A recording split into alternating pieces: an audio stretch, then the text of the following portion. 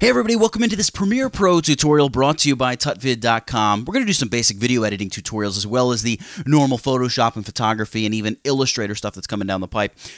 Let's talk today about graphical lower thirds or just lower thirds. It's graphics like that one right there that just appear on the screen to help maybe identify the person talking or maybe you want to use this to promote your social media channels, whether it's Snapchat or Instagram or Twitter or Facebook, whatever it may be.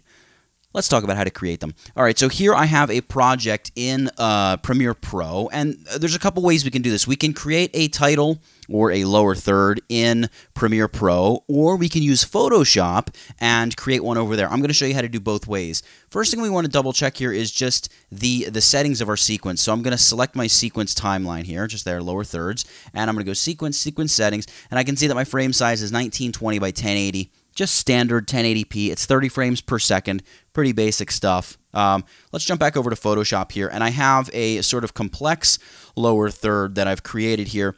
In fact, I'm going to get rid of web address and Snapchat promo. I'm just going to leave the Instagram promo.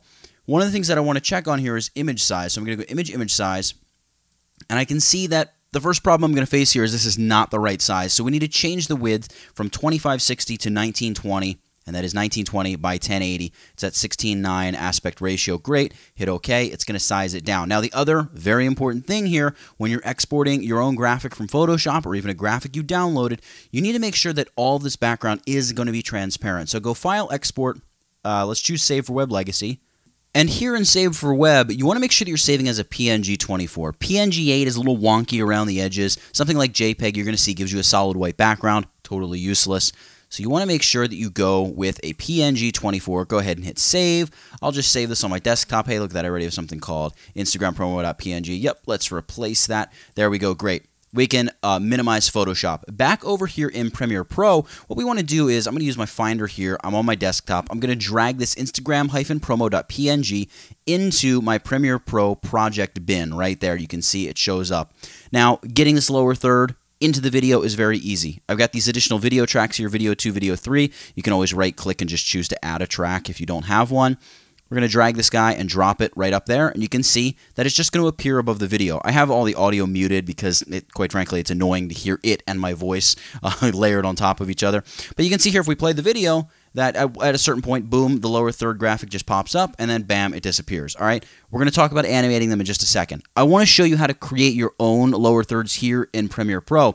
The disadvantage of creating your lower thirds in Photoshop is, like, let's say you have uh, that that's a name tag for somebody, right? You're you're doing a bunch of interviews or it's a documentary film, and you have ten different people who you're interviewing. Well, you would need to create those ten different graphics in Photoshop. You couldn't just go and you know duplicate a graphic and change like the name in Premiere Pro. You have to keep exporting new graphics graphics from Photoshop, which to me isn't a problem. I'm very comfortable with Photoshop, but maybe you just want to stick it stick uh, stick it out, excuse me, here in Premiere Pro. Here's how you create a lower third in Premiere Pro. All right, over here in the project bin, we're going to go ahead and choose the new item uh, icon and choose title. We're going to make this pretty simple. I'm just going to say title uh, hyphen Nathaniel. That's my name. So this is the title for my name. Great. Don't worry about it. It's already the 1920 by 1080 size. Everything is set for you. All you need to do is start creating graphics. So here's what we're going to do. We're going to grab the rounded rectangle tool. We're going to do something a little fancy here. Uh, you know what? On second thought, that's a, a horrendous mess. Uh, maybe let's just stick with regular rectangle. Why not? Can't go wrong with regular rectangle. Let's create a rectangle about that size. Great. Now over here in the properties, you can choose to change the fill. You could even change the fill type and give it like a gradient or any of these other options. I'm just going to change the color here. I'm going to leave it as solid colored, hit OK. We've got a black bar that is going to appear. Now we need to grab the text tool, and I'm going to type out my name, Nathaniel D-O-D-S-O-N, Dodson. There we go. This is an absolutely horrendous font, so let's go right there, Bebas, and set the style to bold. There we go. That's that's more along the lines of what I'm thinking. And let's just set the color of this text to just a straight white. All right, it's going to kind of disappear, but we're going to drag it down here on top of our little graphical overlay, position it just like that. All right, let's create another line of text. This is going to sort of be like, I don't know, it could be a Twitter handle, it could be an Instagram handle, you know, slash whatever for Facebook. Uh, it can be anything. So I'm just going to say at tutvid. That happens to be my my Twitter and my Instagram handle. So at Tutvid, and we'll change this to the font Helvetica. You go Helvetica, uh, Arial, whatever. something simple. Up here we have our text size. You can just hover over the number and just kind of scroll it to the left and you're going to size that down. We can drag this bad boy down here, line it up beneath uh, my name, and voila, just like that, we've created a very, very simple graphical overlay. Just hit the X icon. It's all saved down here. Now, a quick sort of uh, FYI, if you're doing multiples and you have multiple people and you need multiple graphic overlays, you can't just edit this one graphic overlay and expect it to change. Let me give you an example. So I'm going to drag this out. Let's say we have this title appear here, and hey, we also need this title to appear out here at like 28 seconds, all right? But out here, it's for a woman named Judy or something. So let's we, we double click on this title and we change the name to Judy, and we don't move anything because we're lazy. And there it is. Great, we've got Judy. Well, the problem is we've changed the actual title itself, so our original title over here is going to be Judy as well. So all you need to do is simply copy and paste your title. Uh, you don't want to keep making changes to your original title because it's going to change every other instance of that title in your Premiere project. So I'm going to undo that, get it back to my name. If you wanted to create a name tag for Judy, you would just select this title, hit Command or Control C, and then Command or Control V to paste it, and then you could do whatever you want to this title, and it's not going to affect our original. I'm going to delete that. Let's talk about animating this. So we've got the, the start of our video right here where we would want the name title to appear.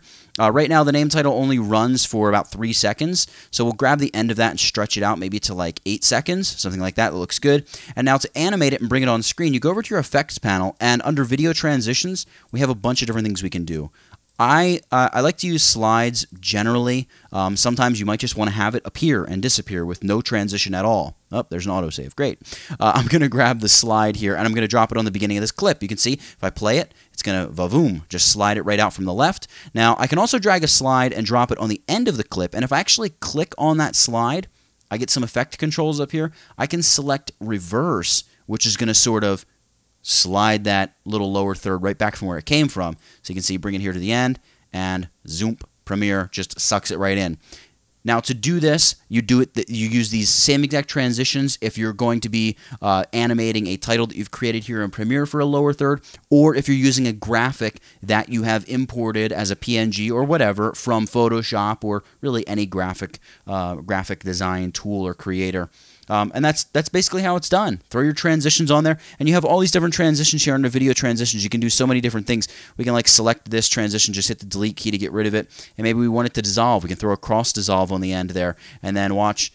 There it goes, just disappears. You can maybe change the length of the dissolve. We don't want it to take so long, so just go ahead and crunch it in, and boom, sucks it right away much faster so many different options. It's a very, uh, it's kind of intuitive. Once you kind of start playing around with it and realizing, oh, I can just click and drag and select things and, and there's options, it's very easy to figure out. So that's it for creating lower thirds and animating them in Premiere Pro.